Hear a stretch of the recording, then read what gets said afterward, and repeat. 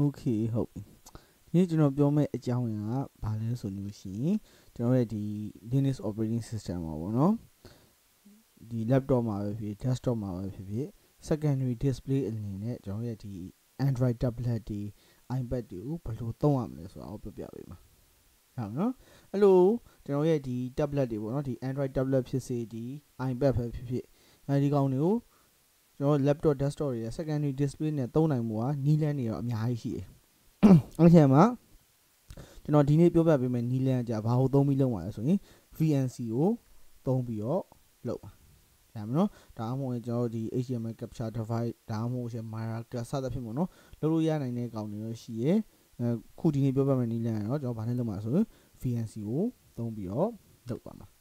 VNC ကိုသုံးပြီးလုပ်သွားဖို့က အရင်ကြီးတော့မခက်ခဲဘူးလွယ်ပါတယ်ဘာလို့လဲဆိုရင်ကျွန်တော်ရဲ့ဒီ laptop ပေါ့နော်ဒါမှမဟုတ် desktop အဲ့မှာဘာရှိရမလဲဆိုလို့ရှိရင် X11 VNC ဒါမှမဟုတ် Type VNC ပေါ့နော်ပြောလို့ရှိရင်တော့ VNC server တစ်မျိုးမျိုးရှိနေရမယ်ဒီ server ဒီ VNC service run နေတယ်ဆိုတဲ့အချိန်ကျမှဘာလုပ်ရမလဲဆိုကျွန်တော်ရဲ့ဒီ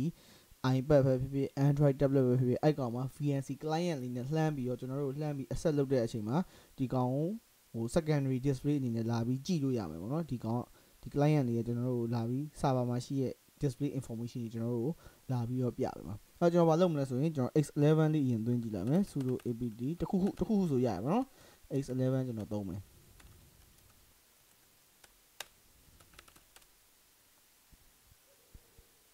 okay ဒါဒီကောင် already new version နဲ့ဟုတ်ပြီအဲ့ဒါလीနော်ဟို record file လာကြည့်ရ record မဖမ်းပါဆိုတော့အဲ့တော့ဟုတ်ပြီ အဲ့ဒါ x11 ရှိရကျွန်တော်ကဒီကောင် service ရှိနေ run လို့အဆင်ပြေတယ်အဲ့နောက်တစ်ခုဘာလုပ်မလဲဆို x render သူ့ရဲ့ render ဒီ resolution တွေကို check လုပ်မယ်အဲ့တော့ဒီမှာသူ support ပေးတဲ့ resolution တွေရှိမှာပေါ့နော်ဟုတ်ပြီအဲဒီ screen 0ကဒီမှာ maximum minimum ဘယ်လောက်ရမလဲ current လက်ရှိကဘယ်လောက်နေတုံးထားလဲဒါမှ maximum ဘယ်လောက်ထိရတယ်စသဖြင့်ပေါ့နော်အဲပြီးရခါကျတော့ဒီ ခုလက်ရှိဒီ display ပေါ့နော်ဒီ display ရဘယ်မှာပြထားလဲဆိုရင်ဒီ DSi 1မှာ primary အနေနဲ့သူလာပြီးတော့ပြထားပေးရပေါ့နော်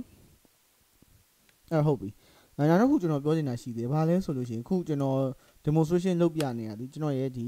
tablet လေးမှာလုပ်ပြနေတာအဲ့ဒါဘာဖြစ်လဲဆိုလို့ရှိရင်ဒီမှာသူ့ရဲ့ CPU ဒီ Atom အဲသူ့ရဲ့ RAM က 4GB ပဲရှိတယ်ဆိုလိုချင်တာကဗျာကျွန်တော်တို့ဒီ VNC server ထိုင်လို့ရှိရင်ဒီကောင် လုံနိုင်တဲ့ capacity ကညိုညီမတို့ရဲ့ laptop တွေနဲ့ရှင်တော့နှိမ့်နေအဲ့ခုခဏနေကြလို့ရှိရင်ကျွန်တော် Android မှာပြလို့ရှိရင် resolution ကနည်းနည်းလေးတော့ထစ်နေလိမ့်မယ်ပေါ့နော်ဘာလို့လဲဘာလို့ဆိုသူ့မှာ atom ပဲရှိရအောင်အဲ့တော့သူ render လုပ်တဲ့အချိန်မှာဒီ resolution ကိုပေးနိုင်တဲ့ capacity ကတော့နည်းနည်းနေနေဒါပေမဲ့ပြဿနာမရှိဘူးခုနောက်ပိုင်း laptop တွေအနည်းဆုံး Pentium ဒါမှမဟုတ်ရှင်လဲ Celeron လောက်တော့ရှိရဲတိတ်တော့ပြဿနာမရှိကျွန်တော်ဟာ atom ဆိုပို့ပြီးတော့နှိမ့်နေပြီးရင်ဒါအရင်ခေတ်က Windows tablet ကိုကျွန်တော် Linux တင်ထားတာအောင်အဲ့ရမယ်နော် အဲ့ဟုတ်ပြီ resolution check ပြီးသွားပြီအဲ့ကျွန်တော် resolution ကိုဘယ်လောက်ထားမလဲဆိုရင် GTF ကျွန်တော်920ပြီးလောက်ထားလိုက်မှာ1 1280 920 60ဟုတ်ပြီအဲကျွန်တော် create လုပ်ပြီးသွားပြီ create လုပ်ပြီးသွားလို့ရှိရင် xind ရ render minus minus add လိုက်မယ်ဒီကောင်ကိုဘယ်မှာ add မလဲဆိုရင် html 1အနေနဲ့ကျွန်တော် add လိုက်မယ်ပေါ့နော် 1280 x720 underscore 60 uh cannot find အော်ဟုတ်ပြီအရင်ဆုံးမအပ်သေးဘူးအရင် new mode ဆိုပြီး create လုပ်အောင်ပါအဲ့ဒါ x render minus minus new mode ပေါ့နော် mode တစ်ခု create လုပ်ပါမယ်ဘယ် mode လဲဆိုခုနကကျွန်တော်ဒီမှာလုပ်ခဲ့တဲ့ကောင်လေးရှိအဲ့ကောင်လေးတကယ် copy copy ထည့်လိုက်ရပြီအမခက်ခဲကြီးမဟုတ်ဘူး control shift c နဲ့ copy copy control shift v နဲ့ကျွန်တော် paste လုပ်လိုက်ပြီ okay အဆင်ပြေသွားပြီအဲ့အဲ့လို new mode လုပ်ပြီးရဲ့အချိန်ကျမှလာပြီးတော့ add လိုက်မယ်အပ်ပြီးသွားပြီအပ်ပြီးသွားဆိုဘာလုပ်မလဲဒီကောင်လေးဒီ output အနေနဲ့ဘယ်မှာထားပါမလဲဘယ်နေရာမှာထားပါမလဲဆိုတော့ကျွန်တော်ပြောပြရမယ် h render minus minus output HDMI 1ပေါ့နော်သူ့ရဲ့ mode ကခုနကျွန်တော် create လုပ်ခဲ့တဲ့ mode ပဲ1280 ငါ star မသုံးတော့ကျွန်တော် x သုံးတယ်ကျွန်တော်တစ်ခါလေးကြာမှားရတယ် 720p ပေါ့နော်သူရဲ့ rate ကဘယ်လောက်လဲဆိုရင်60အဲ့ကောင်လေးဘယ်နေရာမှာထားမလဲဆိုရင်ဒီ right ပေါ့နော်ထားမယ်ကျွန်တော်ရဲ့ display ကကျွန်တော်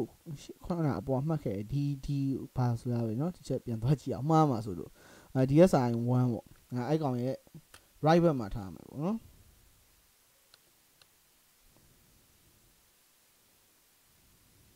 อืมဟုတ်ပြီ right or DSi 1 okay ကျွန်တော်ဒီမှာ position နဲ့ချယူသွားကျွန်တော် create လုပ်ထားတဲ့ display secondary display အတွက် create လုပ်ထားရှိမှာပေါ့နော်အဲ့ကောင်ဘယ်မှာထားမလဲဆိုခုလက်ရှိကျွန်တော်ရဲ့ current display ပြနေ DSi 1 လက်ရှိ screen ရဲ့ဘယ်ဘက်အောင် right ဆိုညာဘက်မှာလာပြီးတော့ထားပေးလိမ့်မယ်အခုသူတခါလေး create လုပ်ပြီးရသွားပြီပေါ့နော်အဲနောက်ချက်ဘာလုပ်ရမလဲဆိုလို့ရှိရင်ဒီကောင်ကို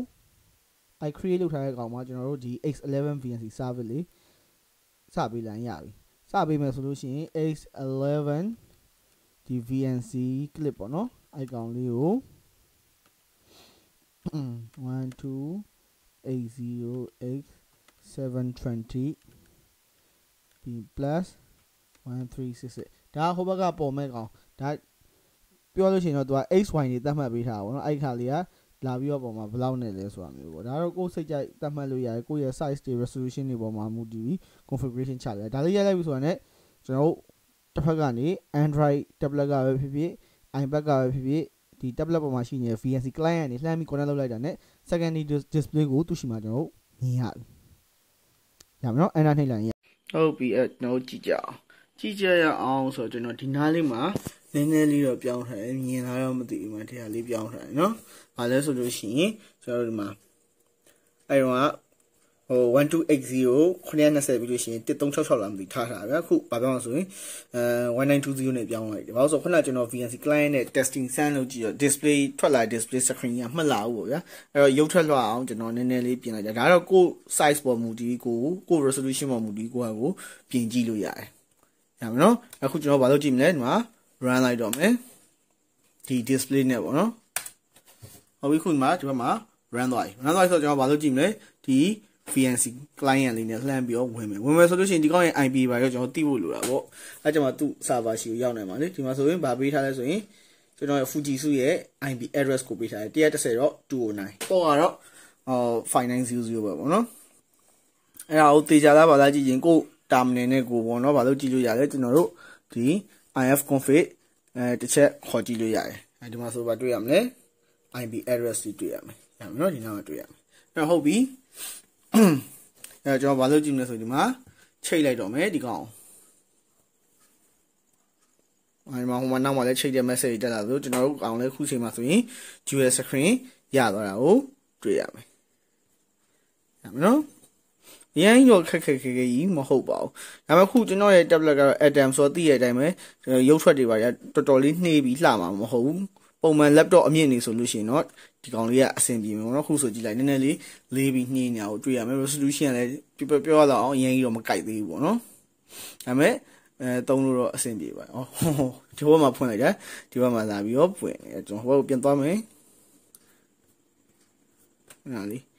သွားမယ်ဆိုရင်အရင် ကြည့်နေတယ်ခြုံလိုက်မယ်ရောင်လေးပြဿနာသိရတဲ့အတိုင်းပဲအဲရမယ်နော်အဲကျွန်တော်တို့ဒီမှာ GUI screen လေးလာပြီးတော့သုံးလို့ရပါတယ်အဲဆန်းကြည့်ကြည့်ပါနော်